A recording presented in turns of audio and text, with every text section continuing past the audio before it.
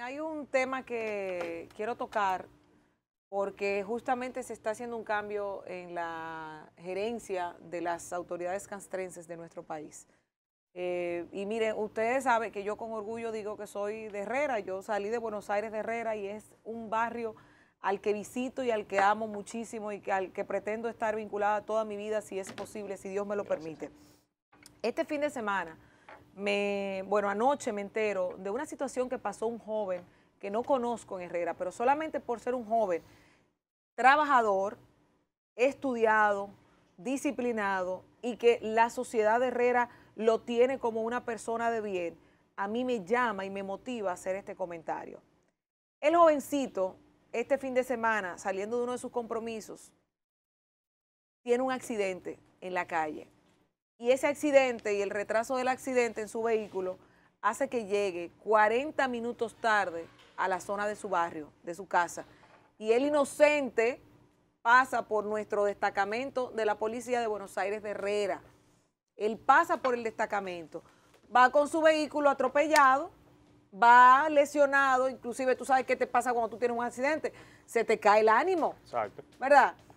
Y el muchacho que lo que tiene son 40 minutos de diferencia producidos por el accidente, pasa por el destacamento y lo para un señor que dicen que es el encargado, el coronel Bello.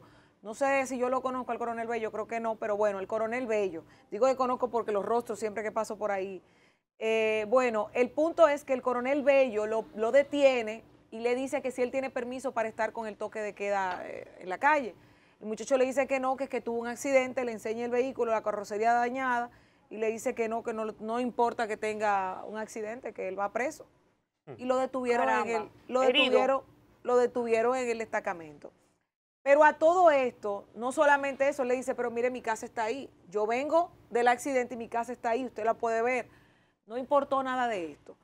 A todo esto, la gente de la comunidad va al destacamento a abogar por el joven, le dice, mire, es un joven de bien, de trabajo, no tiene antecedentes, nunca ha pisado un destacamento y como quiera, no valió. Entre él y sus eh, subalternos eh, ejercieron la, fuerza o la presión o la autoridad y dejaron a este joven encerrado durante varias horas, porque no sé si, no, creo que, que amaneciera en la, eh, detenido.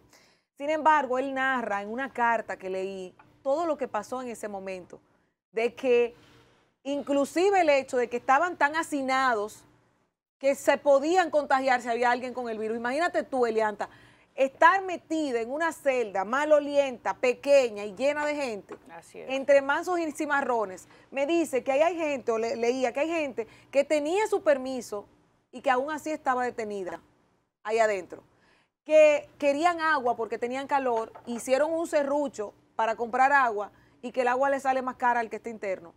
O sea, el agua tiene un precio si te la, si te la mandan a comprar del destacamento. Eso entre muchas cositas que pasaron. Y yo quiero hacer un llamado muy especial. Primero al presidente de la República, Luis Abinader, y luego al director general de la policía, que es un joven y que sabe la situación de que se pasa aquí. Porque él decía, estas son prácticas que se deben derogar. No puede ser que si usted sabe cuál es el perfil de un delincuente o el perfil de un violador de la, de la ley o de este decreto, usted pueda permitir que esto se dé, porque primero está llenando a, un, a, un, a un destacamento de más personas sin la necesidad y está siendo injusto, sobre todo si ese joven venía de, sus labores y venía también enseñándole que vive ahí, que, que, pasándole por el frente a la autoridad sería demasiado desatino. Pero algo que me llama más la atención y que él lo destaca en la, en la carta, ¿ustedes saben qué es? Me dice, lo interesante es que tú mirabas para el entorno a varios metros y tú veías gente en los colmadones bebiendo y nadie lo estaba detenido. wow, qué irónico. Tú, me entiendes, o sea, yo vengo de, trabajar, yo vengo de lo que sea que estuviera, tuvo un accidente, tiene 40 minutos fuera del horario del toque de queda y el joven es detenido a, a unas esquinas de su casa que dice él que veía la casa desde el destacamento y al mismo tiempo el entorno lleno de colmadones bebiendo, eh, de gente eh, disfrutando de eso. O sea, es un tema delicado, es un tema delicado al que realmente nosotros tenemos que hacer el llamado, porque él decía, es irreal pensar que en pleno siglo XXI, donde se supone que hemos superado políticas vergonzosas, con fuerte reclamo a un pasado oscuro, existan personas que en vez de proteger al ciudadano, lo oprimen y le violen sus derechos. Y él decía que el escrito que, que, él desarrollaba no era por temas personales, es porque él no quiere que este tipo de incidentes sigan ocurriendo. Y él decía, sí o sí necesitamos un cambio, pero ese cambio debe ser de manera radical e integral. No puede ser que una autoridad que está para protegerte, para velar por ti, sea la que te, te, restrinja de tus libertades y sea la que te trate como un delincuente. Sobre todo sabiendo nosotros, y lo digo porque al lado de mi casa, está un, sitio operando y todos los días pasa del horario de la toque queda y lo cerraron hace unas semanas y sigue abierto. Y ustedes ven las personas que se paran ahí, los vehículos que se paran ahí, y ahí ningún policía va a apresar a nadie. Y para apresarlo es porque la prensa llama. Bueno, creo que por eso fue que Chubásquez el día de ayer fue enfático y dijo que aquellos trabajadores que no cumplan con su trabajo de eh, hacer que los establecimientos comerciales acaten los horarios de toque de queda van a ser sancionados. Creo que esta es una medida que también tenemos que aplaudir porque de alguna forma u otra tenemos que hacer que se cumplan las normas. Y si la gente quiere estar allí, creo que es más fácil eh, lograr cerrar el establecimiento comercial para que este tipo de cosas no ocurran. Yo les pregunto a ustedes, ¿Ah? ¿tenemos que darle tiempo también a Chubasque para la transición? O no, no, yo me imagino que eso fue son otras medidas. En forma efectiva. Eso son otras medidas. Acuérdate que lo que cambió fue la Me parece promesa vacía, porque desde hace ya seis meses nosotros estamos viendo este problema que la, la, la, aplicación de estas normas se hace de manera medalaganaria. ¿cuánto tiempo tiene? Primero lo anunció ayer. Por eso pregunto que si hay que darle el tiempo de transición. No, yo entendemos que a partir de ayer comenzaron, hay que evaluar el día de hoy cómo estuvo eh, el cierre de establecimientos mm, comerciales en horas de la en horas de la noche.